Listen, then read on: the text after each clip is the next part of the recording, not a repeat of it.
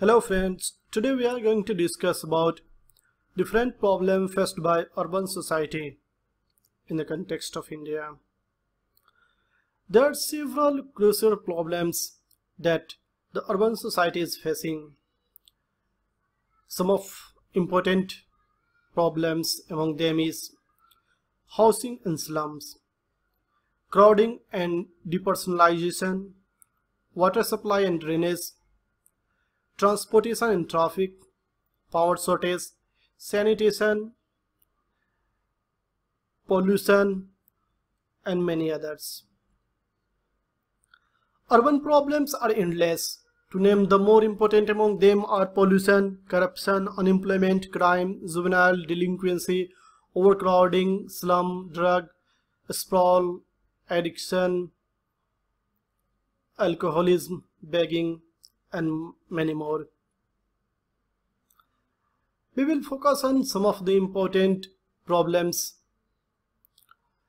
which are core concern of urban planning. Housing people in a city or abolishing housing needs is a serious problem. Government, industrialists, capitalists, entrepreneurs, contractor, landlords have been trying to solve this problem and want to keep pace with the housing need of the poor and the middle class. According to the 1988 UNI report, between one-fourth uh, and half of the urban population in India's largest city lives in makeshift settlements. Millions of people are required to pay excessive rent that is one which is beyond their means. And this is due to because they are unable to get affordable housing from the government department.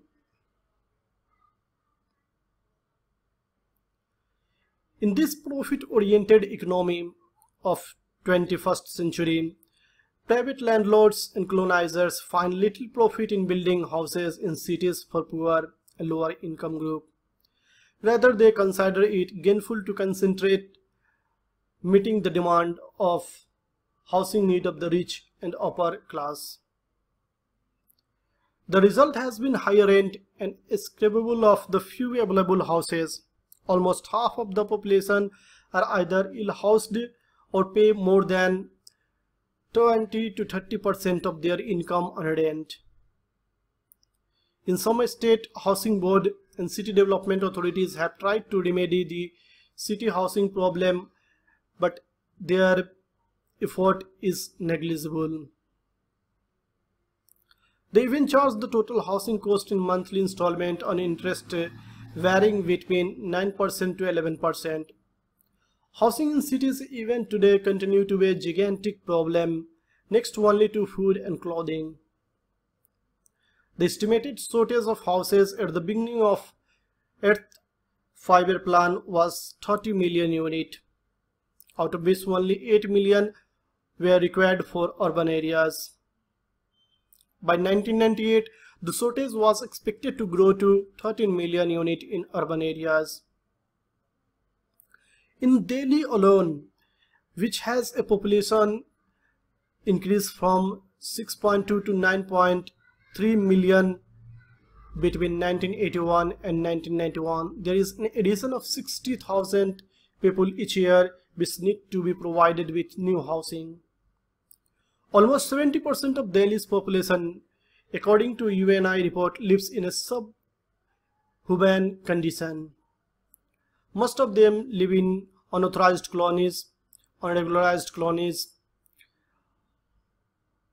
With the country's slum population of 1991 standing at nearly 40% of the urban areas, the situation is no better in other metropolitan cities like Bangalore, Hyderabad, Ahmedabad, Kanpur, Pune, Nagpur, Lucknow, Jaipur and others. Slum population government effort notwithstanding is expected to show a sizable increase but it has not been meeting the need of housing and it is aggravating the housing problems more and more. Living conditions in slum areas are characterized by overcrowding, poor environmental condition, scarcity of health and family welfare services, and total absence of minimum level of residential accommodation. One of the other major problem in the urban areas is water supply and drainage. We have reached a stage where no city has round-the-clock water supply. Intermittent water supply results in a vacuum being created in water lines which often sucks in pollution through leaking joints. Many cities like Delhi, Chennai, Hyderabad, Rajkot, Ajmer, Udaipur get water from municipal sources for less than few hours. 6 to 10, not more than 10 hours. Many small towns have little water and they, their supply is only limited to 1 or 2 hour. Many small towns have little water supply network and are mostly dependent on tube wells, hand pumps. Even a relatively planned and serviced city like Delhi has good rain every year have been undergoing the problem of acute water shortage in last decade. What seems to be sadly lacking is the national water policy which would assess the total water resources and then allocate water to different municipal corporations.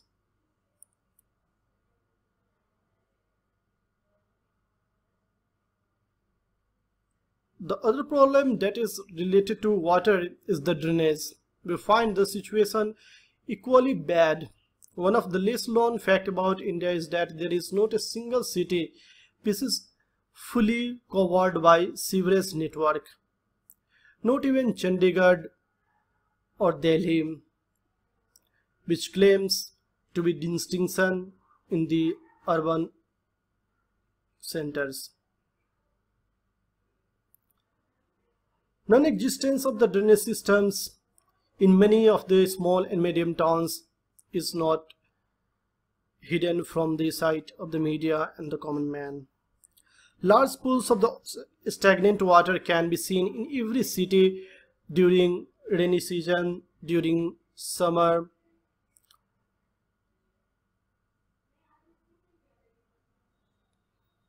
Another great problem is the traffic and transportation. The transportation traffic picture in all cities is not very good. Most of them are very bad or extremely unsatisfactory. Majority of the people use public transport while few only use the rail transit system. The increasing number of the two-wheelers and four-wheelers make traffic problems worse. The number of the buses plying in the metropolitan cities like Delhi, Mumbai, Chennai, Kolkata, Bangalore is not adequate and commuters have to spend about 1 to 2 hours to get into a bus. This means leaving home 2 hours in advance in morning to reach their place of work and reaching home in 2 hours. The reason for this is messy condition is that low income of the commuter forces them to live in the areas far flung from the city core, core of the city. Many residents cannot afford to pay high fare for using public transport systems like metro, metro which has increased their fares double in last few years. There is a great problem of water power shortage also in most of the smaller towns. The use of electrical gadget has considerably increased in cities. The establishment of new industries and expansion of the older one has also increased the dependence on electricity. Most states are not in a position to generate the power that they need with the result that they remain dependent on the neighboring state you might have heard about the conflict over distribution supply of the power among a state often leads to severe power crisis among different states. There are other problems of the towns, urban areas is the sanitation.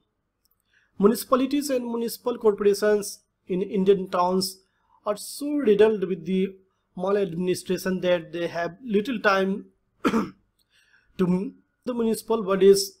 They are, do not care much about removing garbage, cleaning drains and unclogging sewers more often. Sometimes they clean the street once in a week, not on a daily basis. Sweepers rarely and reluctantly perform their assigned duty because they are in the government job. Every few months, threaten to go on a strike is another issue of these sanitation workers. Garbage disposal is a great problem in urban areas. Most of the smaller towns they dump in their municipal bound area and this also leads to pollution. Towns are major polluter of the environment. Several cities discharge more than 40 to 50 percent of their entire sewerage and industrial effluent untreated into nearby rivers or water bodies. The smallest town contributes its share of garbage and excreta to the nearest waterway through its open drains. Urban industry pollutes the atmosphere with a smoke, toxic gas from its chimneys. Pollution around many of the urban centers leads to many diseases which affect children's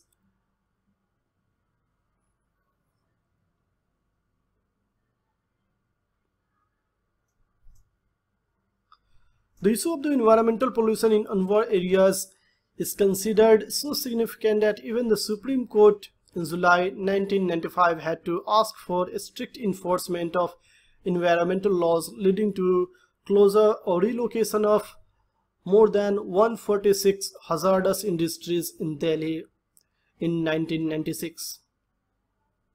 Made by the Central Pollution Board, this is the leading monitoring body of the pollution in India. The effluent generation from agri aquaculture farms on the eastern coast alone was 2.3 million cubic meter. The poison was put in the environment comes right back to us through air pollution, water pollution or food.